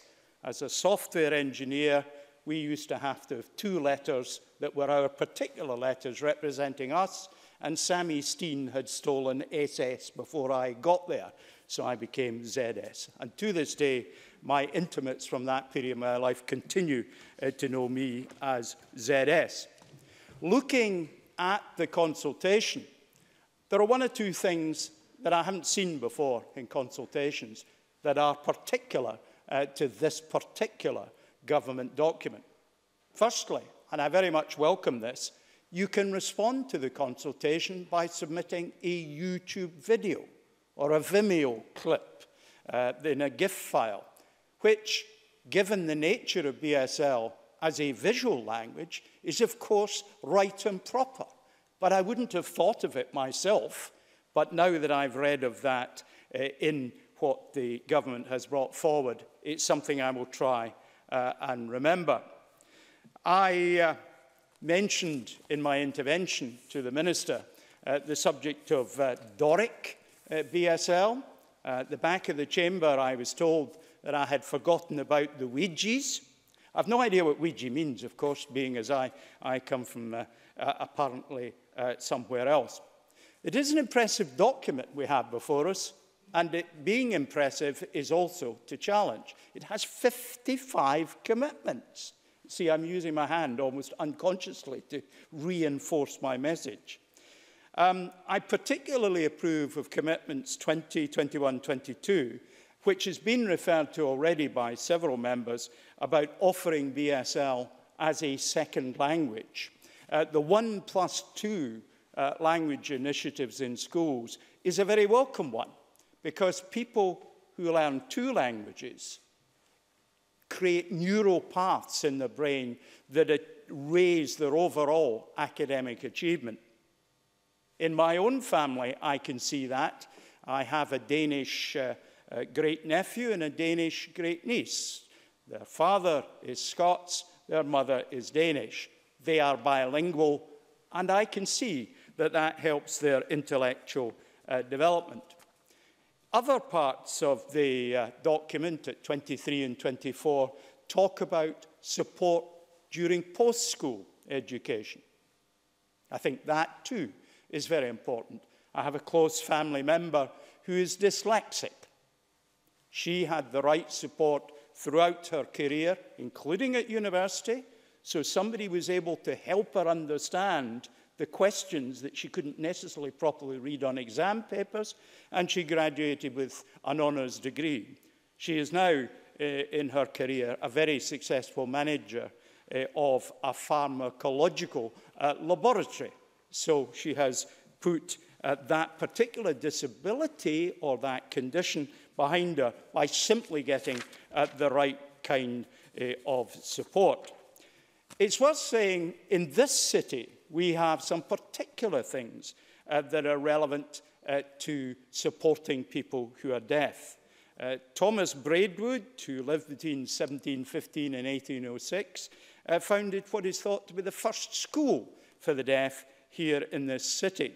Dr. Samuel Johnson, when he visited Edinburgh in 1773, uh, said, it is a subject of philosophical curiosity in Edinburgh, which no other city has to show. a college for the deaf and dumb. Dr. Joshua Reynolds, eh, Reynolds the world famous uh, portrait painter, he was deaf, but it did not stop him creating an international reputation that endures to this day. And John Goodrick, who died in 1786 at the age of 21, was elected to the Royal Society uh, right at the end of his life because he was the first person to, to spot the periodic nature and the changing of illuminations from particular stars uh, and to identify the reasons for that. He was a par excellence scientist who was also deaf. It's been a matter of public policy to take an interest in that. I, I know too that it's been a matter that's touched democracy. There's only, as far as I'm aware, been one Deaf MP Jack Ashley. And of course, he was a special case because he was elected hearing and became deaf. Let's hope we can continue with this excellent document, support people to engage with BSL, but also the wider issue of supporting people who are deaf. Presiding officer. We now move to the closing speeches, and I do have a couple of minutes in hand, so up to eight minutes, please, Mr Griffin. Thank you, President Officer. It's been a good debate this afternoon and one I hope will assure members of the deaf and deafblind community who communicate using BSL of the strength of support in their parliament from their government and MSPs of the importance of their language, culture and the contribution they make to society. And I think, like the Minister in his opening remarks, it's worthwhile to remind the Chamber how we got to this point. And while I thank members for many of their kind words, it was actually the cross-party group on deafness that started the work on a BSL bill. And today marks over a decade of their hard work. The process in itself was an excellent advert for the openness and accessibility of our Parliament and democracy on a day we should treasure it. What's happened is a fantastic example of members of a minority group in our society coming together, forming a cross-party group, setting out their priorities and lobbying MSPs to the point that we have a government taking forward the provisions of an act passed unanimously here almost two years ago. And that's a direct result of their dedication and hard work, so it's only right and proper that we show our appreciation and thank them. And Marie Todd mentioned the fact that Scotland were the first country in the UK to officially recognise BSL as a language in its own right. And I think even though that predates my time as an MSP, that was also down to the hard work and the lobbying of the cross-party group. And I joined the cross-party group on deafness when I was elected in 2011 because of my own family history of deafness, two great-grandparents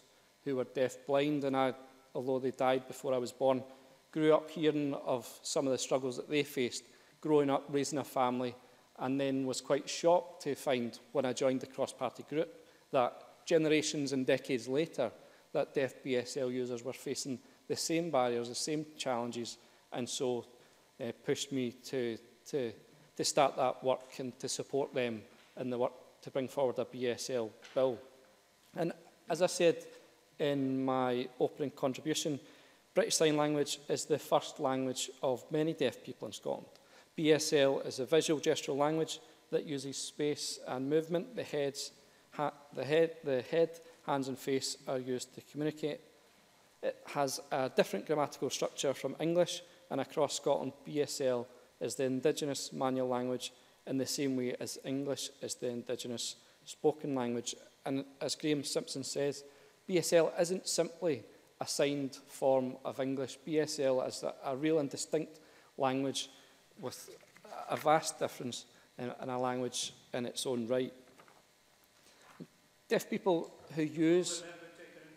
Yep, certainly. Stuart Stevenson. Um, do you think we should start with uh, training the presiding officers to recognise rude words in BSL so that we are able to be hauled up if we were to use them? Can I say that we should have very limited sign language in this chamber, please, unless it is someone who requires it to properly communicate? Mr Griffin.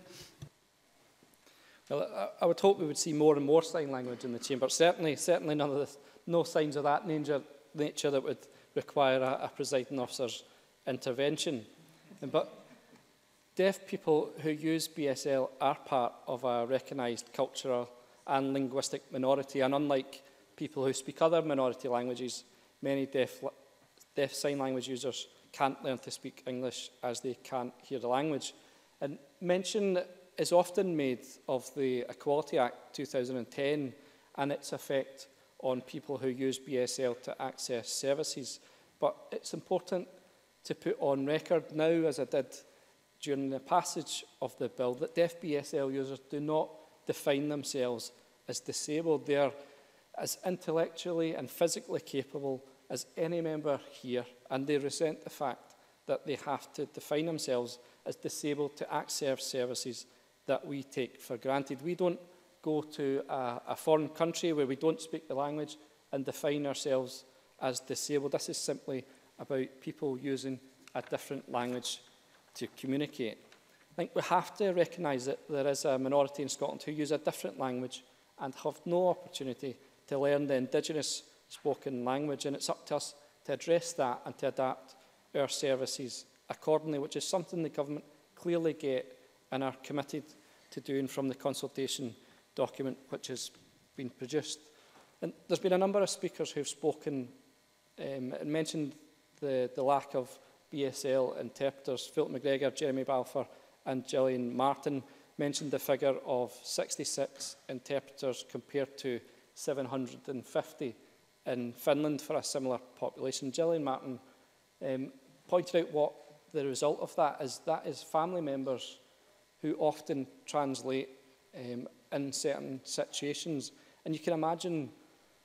that people will feel an obligation, a duty to help out where they can, but it's just not appropriate in some situations.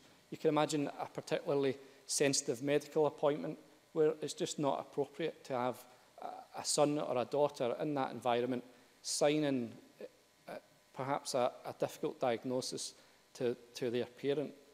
Tavish Scott and uh, Rhoda Grant pointed out the, the benefits to non-BSL users of the work that the government are doing here. That then enables us to benefit, us as a society, our economy to then benefit from enabling BSL users to, to make that vital contribution to our economy, to,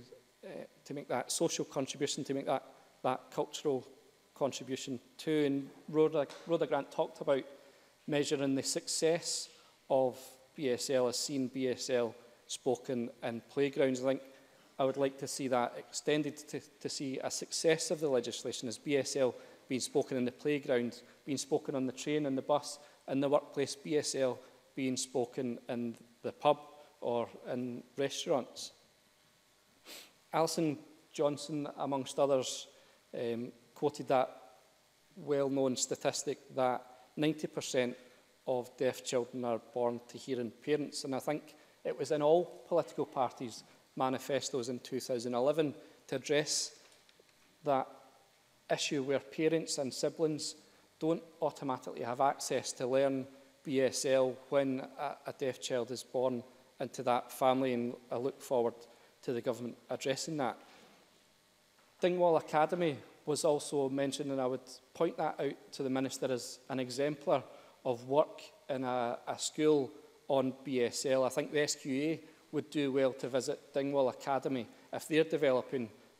a, a qualification in BSL. I think they have a, a ready-made curriculum that would be good to see rolled out right across the, the country.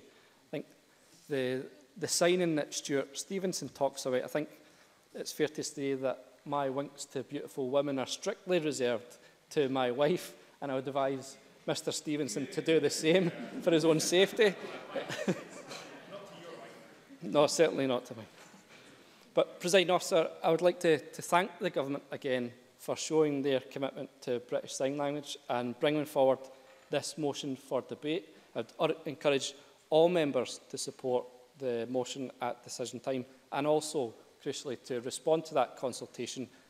and encourage their constituents to do so too. Thank you.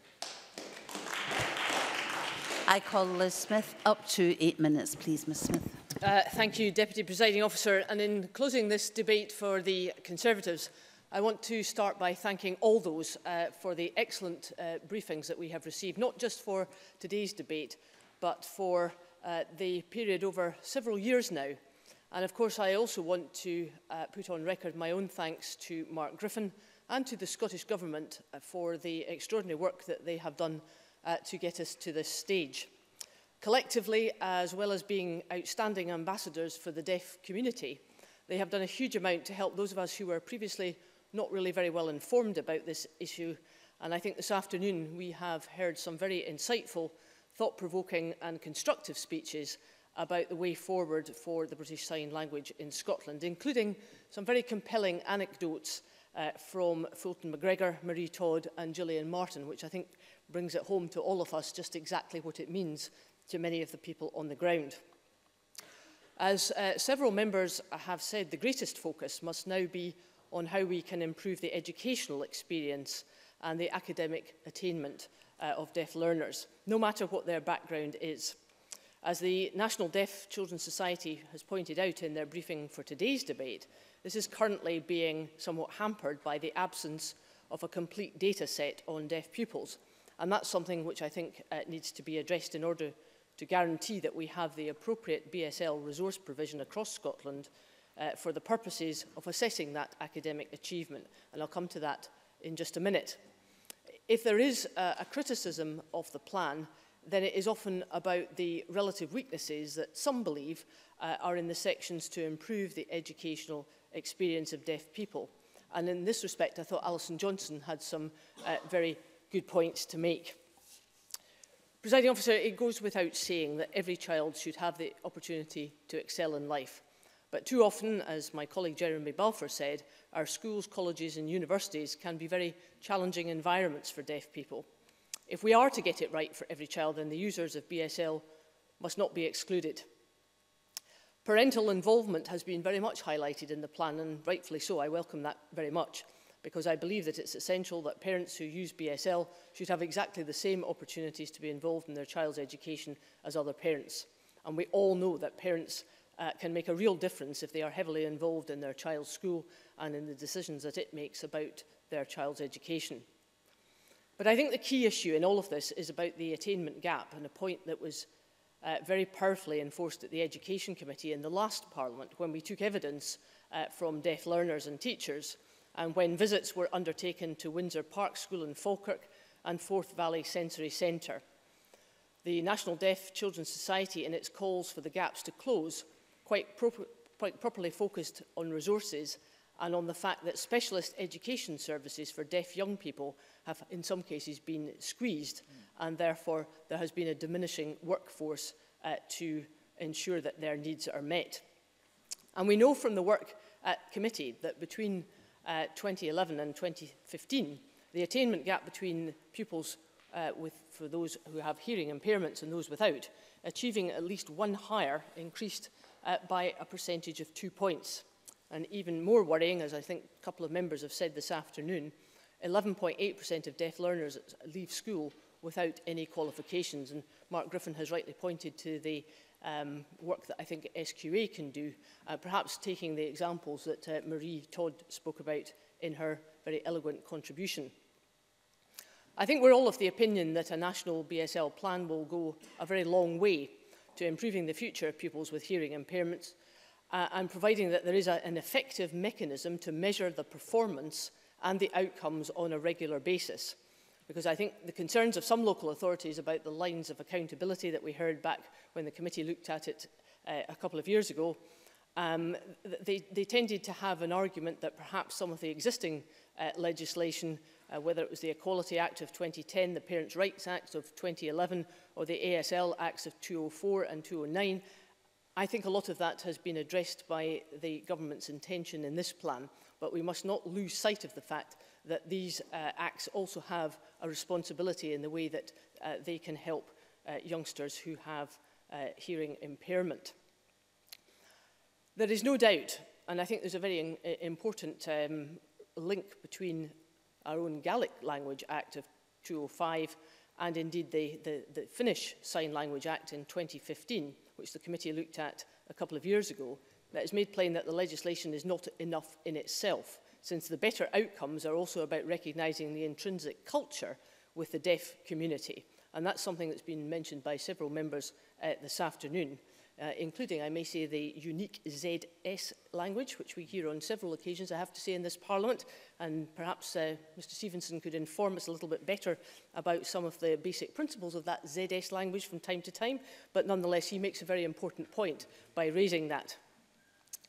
The call made by the NDCS that there should be a minimum qualification level uh, in BSL for those professionals working with deaf learners – in order to ensure that they all have the same standards of teaching is clearly uh, a good one.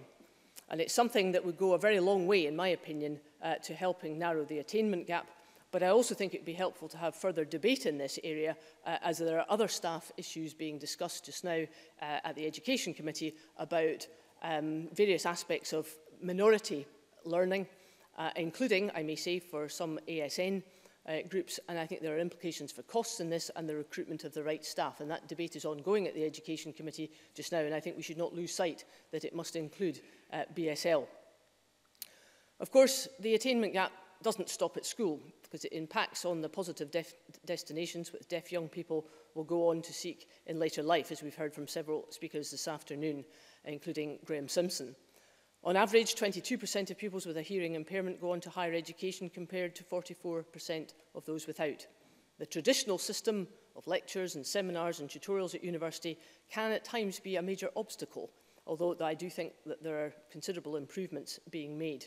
And it's difficult, quite rightly, in uh, group discussions to be able to communicate with other students and therefore the benefit of sharing knowledge and ideas is not always being extended to those who have hearing impairment.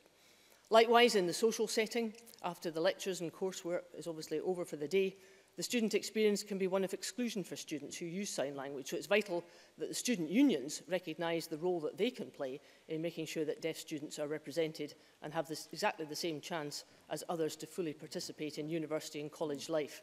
And to give credit, I think some of the student unions have done a lot of work to make sure that that happens, although there is clearly uh, more to do. Mark Griffin made some excellent points about the extracurricular dimension, and I think that's something that we need to think about in a wider context too, because if it's the, the ability to be included in those extracurricular um, activities that take place, all, which are very much an intrinsic part of the educational experience, then I would worry greatly if it was felt that too many of the BSL uh, pupils are losing out because they feel that they can't contribute to that. And I think that's a, a way that we need to work at uh, very hard. Now, I'm, I'm conscious that I'm coming to get a sign from the Deputy Presiding Officer in a minute.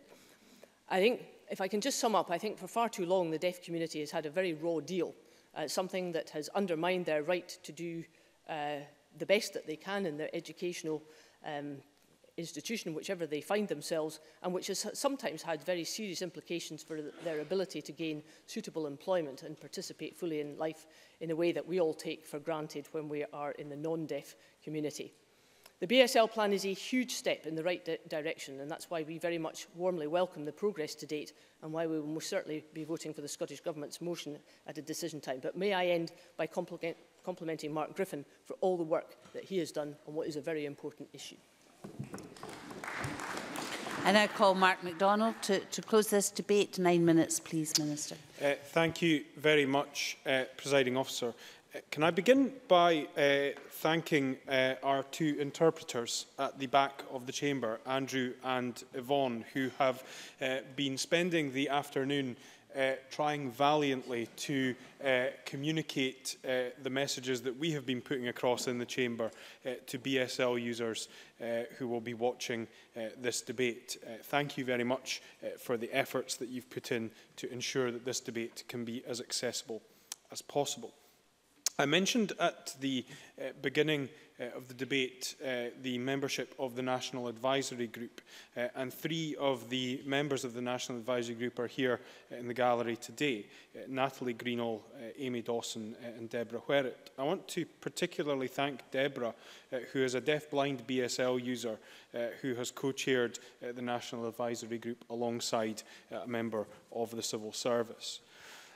I want to um, take a moment, presiding officer, to um, go through some of the contributions that have been made, some of the points that have been raised uh, as part of the debate uh, this afternoon.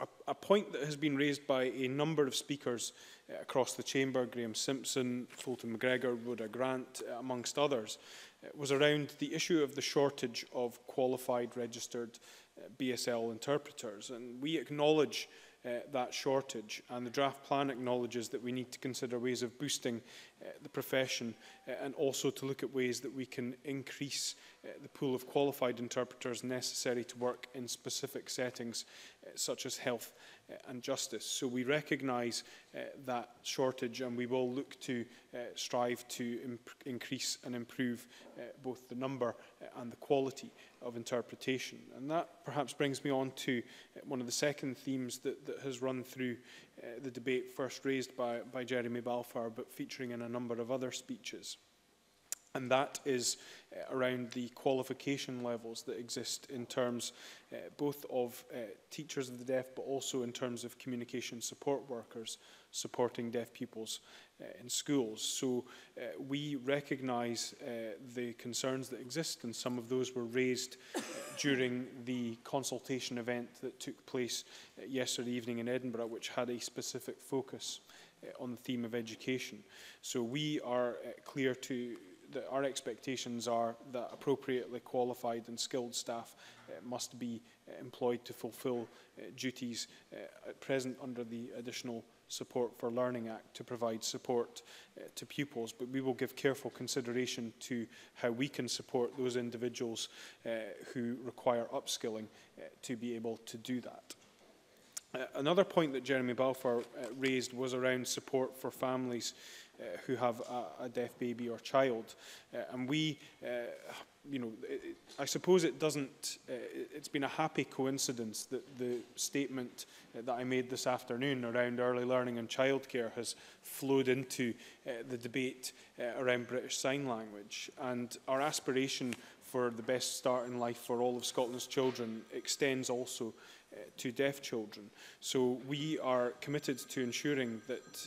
families and carers with a deaf eh, or deafblind child are given information about eh, BSL and supported to learn to sign eh, to their child. Indeed, that's one of the goals contained within the draft plan. Um, a number of, consti a number of constituents of, of members were were highlighted uh, during the course of the debate. And it's great to see so many uh, individuals out there in communities uh, doing great work and, and, pushing forward in trying to promote and encourage greater uptake of an understanding of BSL. And I uh, commit to this government to working to try uh, and achieve some of the goals that have been highlighted by, for example, Gillian Martin, Fulton McGregor, Marie Todd, uh, amongst others, in terms of the work that their uh, constituents are taking forward.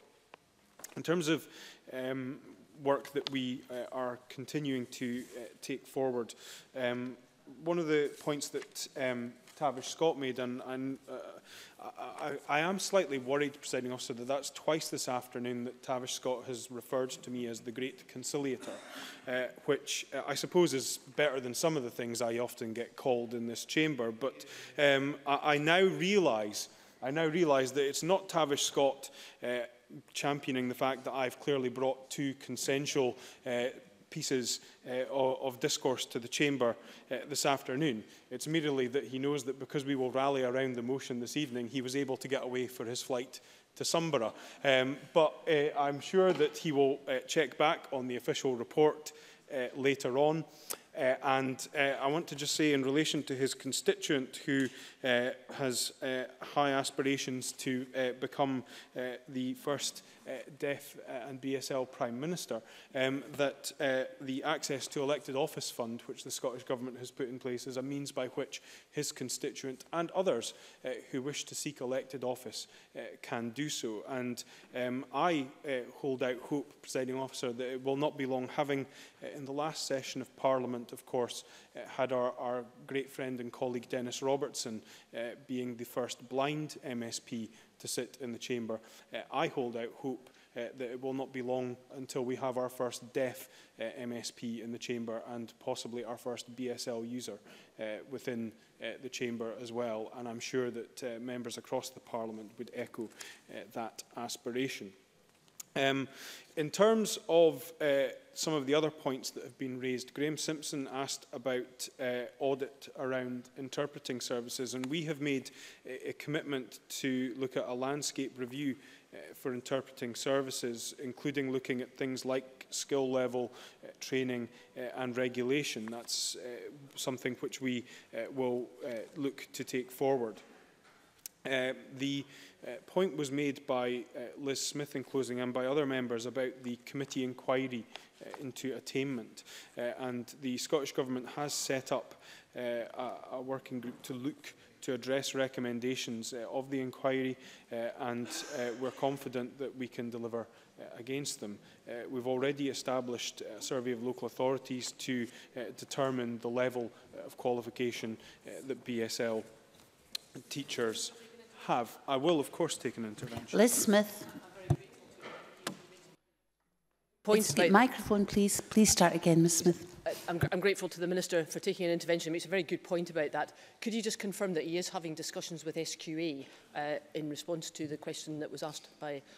Mark Griffin about that? Because I think that's a very important part, just to give that the credibility that it deserves.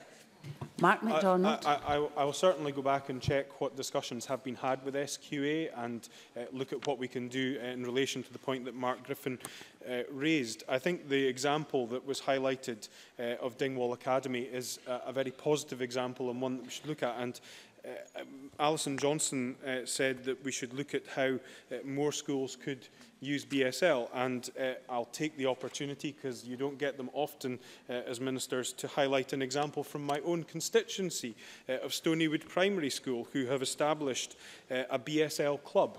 Uh, which meets at lunchtimes uh, and is being led by one of the pupil support assistants in the school, uh, Mr McRobbie, who is a BSL user, uh, where 20 to 30 children are currently attending that club uh, and learning BSL. So there are good examples out there. Uh, I think the, the point that members make about how we can formalise some of that and ensure that children have appropriate opportunities uh, to uh, learn BSL and then the appropriate qualifications that would flow on from that, I think uh, merits consideration.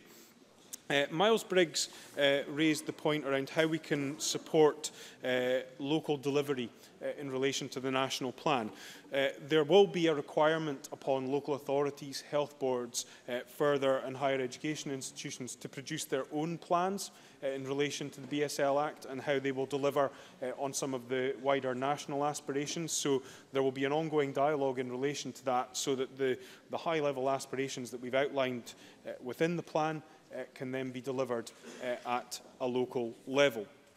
Um, Stuart Stevenson um, highlighted the fact that you can respond to the consultation uh, via uh, a YouTube video uh, or a Vimeo clip. Uh, I uh, heard Mr Stevenson saying that he will take note of that for future reference, and I'm sure we all look forward to Mr Stevenson becoming a YouTube star uh, as a consequence. Um, Liz Smith, Liz Smith, well, well, well, Liz Smith uh, offered an invitation to Mr. Stevenson to expand upon uh, the uh, etymology of the ZS language, and I'm sure members will want to thank Liz Smith in their own way for that constructive suggestion and input to today's debate. Presiding officer, it has been uh, a very uh, consensual debate on a very important issue. Uh, this Parliament came together uh, in a, a fantastic way uh, to pass the BSL uh, bill when Mark Griffin uh, brought it to Parliament. And I think this is another example of this chamber uh, working in the best possible way, in the most collective way, to ensure that we deliver the most positive outcomes for BSL users in Scotland.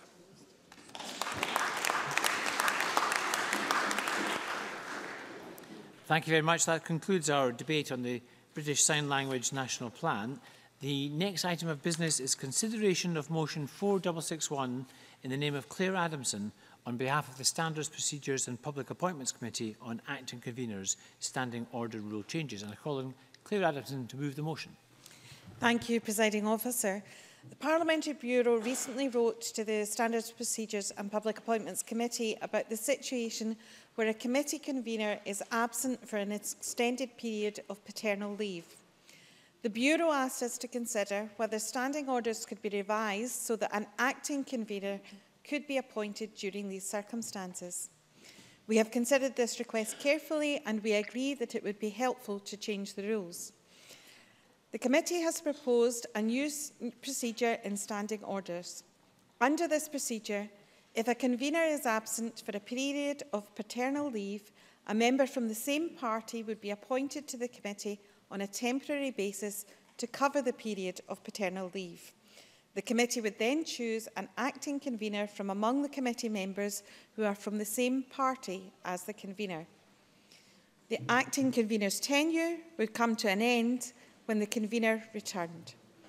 This procedure will allow members who become parents to retain their position as convener while taking a period of paternal leave. It also respects the Parliament's decision in relation to the party affiliation of the convener. This is a relatively small change to the rules. However, it sent out an important message that members will not be disadvantaged as a result of taking paternal leave. And I'm pleased to move motion S5M 646, in my name. Thank you. The next item of business is consideration of Business Motion 4776 in the name of Joe Fitzpatrick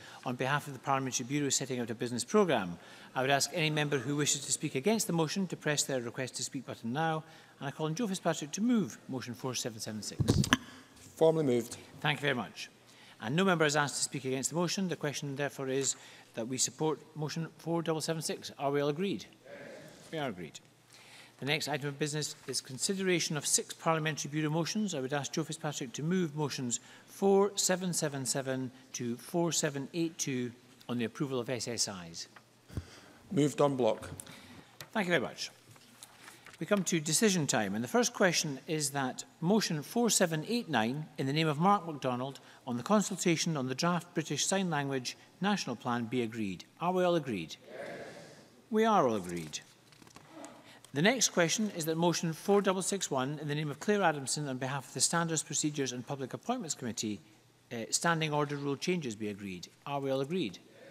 We are all agreed. And I propose to ask a single question on Parliamentary Bureau motions 4777 to 4782.